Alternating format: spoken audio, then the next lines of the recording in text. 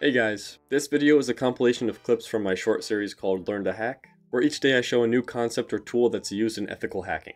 Sometimes these short concepts will build off of each other, so I'm going to be uploading about a week's worth of shorts as a full-length video each week for those people that may have missed the shorts, or if you want to be able to pause and rewind on certain days to better understand the material. The first week was mainly about discovery and enumeration, as well as exploiting a backdoor vulnerability to gain a root shell on a victim server. If you'd like to follow along, you can set up the same lab that I'm using in the video by watching this video that I made previously on my channel. If you like this sort of content or you find it useful, feel free to give it a like and subscribe to the channel for more, and feel free to join my Discord if you'd like to be a part of this community. Alright, with all that, enjoy the video, and happy hacking. Sometimes when you're doing a capture the flag or an assessment, you're just given a range of IP addresses or put on a certain subnet. If this is the case, the first thing you're going to want to do is figure out which IP addresses on that subnet are actual live hosts that we can attack, and this can easily be done using Nmap. So the first thing we must do is figure out the subnet that our attack box is currently on, which can be done with a quick ifconfig command. So typing ifconfig in your console will show you which IP address that you're currently on and the subnet that it resides on. With a quick ifconfig, we see that we're on the 10.0.2.0 slash 24 subnet with an IP address of 10.0.2.5. To figure out what other IP addresses are active on this subnet, we can use this nmap command here. So this command is going to scan every IP address on the 10.0.2.0 slash 24 subnet. So that would be 10.0.2.0 all the way up to 10.0.2.255. The dash SN parameter is going to disable port scanning because we're not interested in that yet. And the dash PE parameter is going to do an ICMP echo request or ping request against each IP address in that subnet. The command may ask you for your password because we're running with sudo privileges. And once the scan finishes, we should see every IP address on our subnet that responded to a ping. In our example here, we've got 2.1, 2.2, 2.3, 2.4, and 2.5, which is us. Now that we know which IP addresses are active on our subnet, we see another VirtualBox machine online that isn't our attack box, which is 10.0.2.4. To figure out what ports are open on that box, we can use nmap again. This time the command is going to be sudo nmap dash p dash dash dash min dash rate 10,000 and then our IP address, in this case 10.0.2.4. The dash p dash parameter is going to check all 65,536 ports for a response, and the dash dash min dash rate 10,000 will make it so that 10,000 packets will be sent at the same time to speed up the checks on all the ports. This number can be lowered if you're trying to be less noisy, but will result in a longer scan time. Once the scan completes, we should see every open port on the scanned device. Now that we know which ports are open on this server, we can enumerate them further to determine what services and versions of those services that are running on each port, along with some other interesting information. For the sake of simplicity, I'm only going to do this against three of the ports that we found in the previous scan, which are ports 21, 22, and 80. These ports are generally associated with FTP, SSH, and HTTP respectively. So the nmap command we're going to be running is sudo nmap-p 212280, and then the IP address, in our case 10.0.2.4, and then the parameter sv. So this command is going to look at the three mentioned ports, and the -sv parameter is going to check for the service and version of that service running on each port. Once the scan completes, we see the software and the version of the software that's running on port 21, 22, and 80. If we want to take things a step further, we can add on the dash -sc parameter, which is going to also run Nmap's default scripts against each port to determine some other information that we may find useful. So the results of the scan with the dash -sc parameter found things like FTP anonymous login that's enabled, as well as the title of the web page that's running on port 80. If you ever find yourself in a situation where Nmap finds an open port but is unable to find the service or version running on that port, you may have better luck fingerprinting the port manually using Netcat. We can use the tool Netcat to manually connect to any port on a device by typing in NC, the IP address, and the port. So in our situation, if we want to connect to port 21, we would type in NC 10.0.2.4 space 21. So after hitting enter on this command, we see that we connected to port 21 on IP address 10.0.2.4.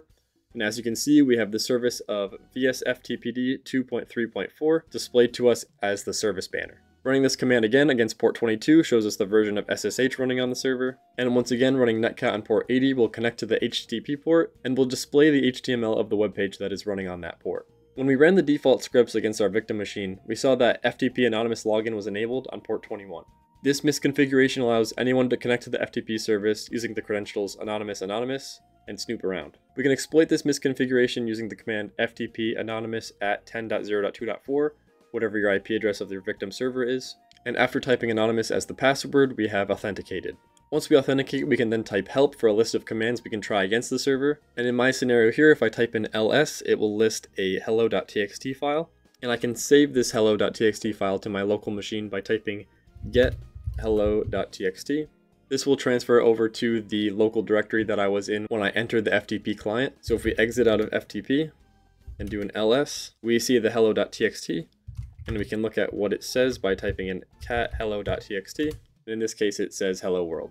Anonymous login for FTP did not net us anything useful in this scenario, but maybe the version of FTP running will. Going back to our nmap scan, we saw that VSFTPD 2.3.4 was running on port 21. If we Google VSFTPD 2.3.4 vulnerability, you'll find many results for a backdoor command execution vulnerability. The first result we see will be for exploit-db.com, which is an exploit database that you will likely be using a lot in your CTFs and assessments if you aren't already. So going to exploitdb.com, we could download this exploit and run it to get a backdoor shell on our vulnerable server. But first I want to keep digging. If we look up the CVE associated with this vulnerability, CVE 2011-2523, we find a GitHub page that explains the vulnerability very well. In July 2011, it was discovered that VSFTPD version 2.3.4, downloadable from the master site, had been compromised. Users logging into a compromised VSFTPD 2.3.4 server may issue a smiley face as the username and gain a command shell on port 6200. This was not an issue of a security hole in VSFTPD, instead someone had uploaded a different version of VSFTPD which contained a backdoor.